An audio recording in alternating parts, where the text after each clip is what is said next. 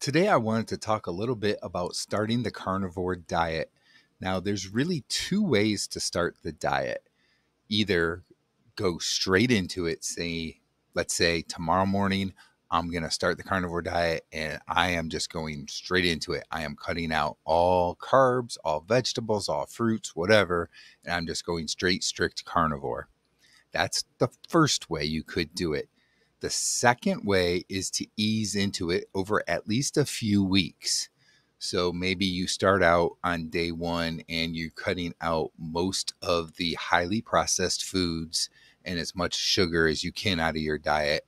And then you're slowly um, decreasing the carbs, the vegetables, fruits, that kind of stuff. So that over a few weeks, at the end of that time, you finally get down to where you're just eating carnivore. Now, there are pros and cons really to both ways.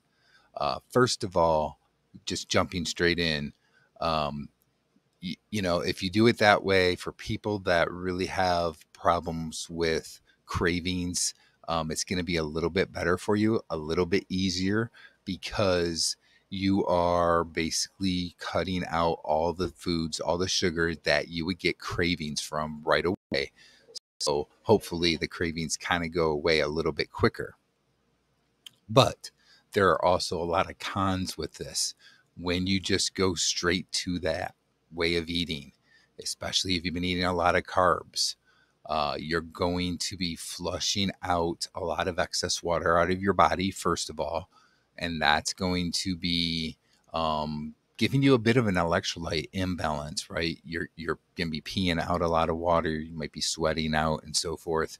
And um, your magnesium, your potassium, and your sodium are three particular electrolytes that uh, you're going to be a bit low on if you're not careful.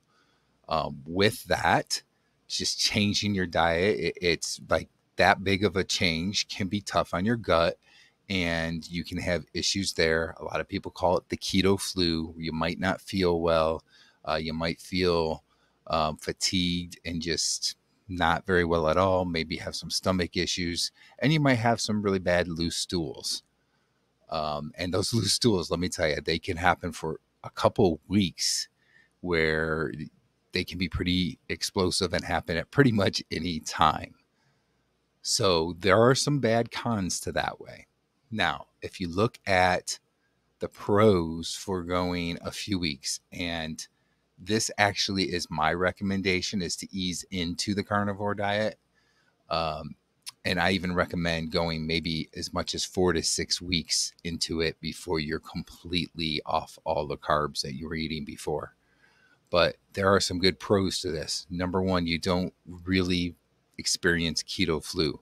And I know some people can go straight into the carnivore diet and they won't experience keto flu, but a good number of people will.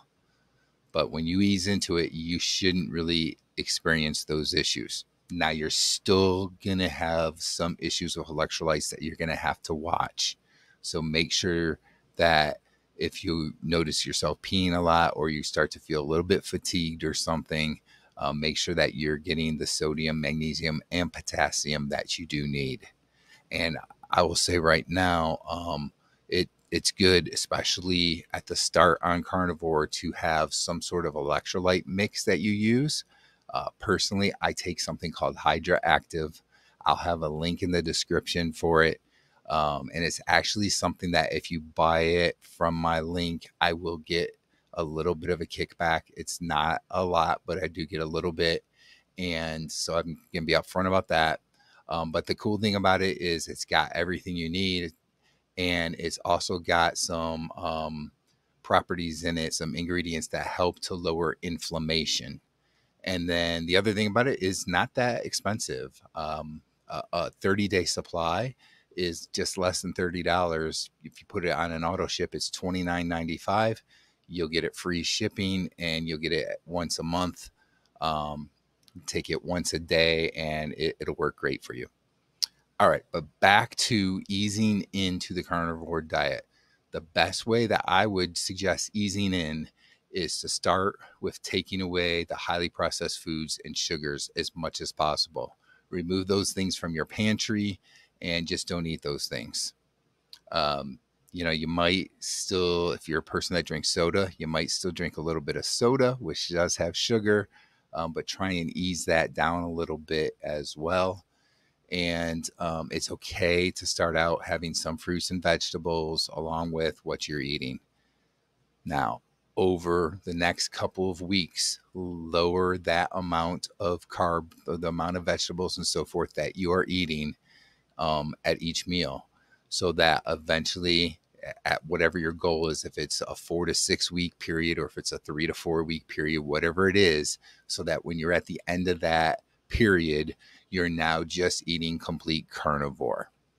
Um, with that you're going to notice that you're not going to have the keto flu symptoms. You're probably if you do you you'll probably still have a little bit of the loose stools but not as badly and it probably won't last as long. Like for other people, could last a couple weeks. It might only be for a couple days for you.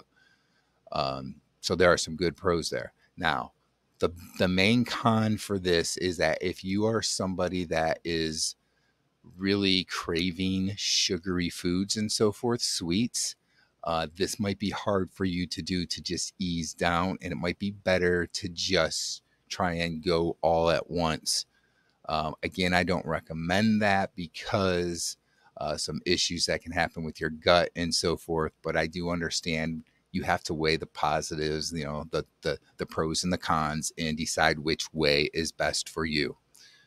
So if you've already gone on the carnivore diet, let me know if you jumped in or if you eased into it. I think from most people I talk to, that most people actually jump right in. They don't just ease into it. Um, but that can be a negative because some people will experience those issues and just decide, you know, it's not worth it or it's not working for me. And then they quit before they get past those issues and never got to experience the benefits. So let me know in the comments if you've already doing it or if you're going to be starting on the carnivore diet. Let me know in the comments what you think you're going to do. And uh, I hope to talk to you guys all again in the next video.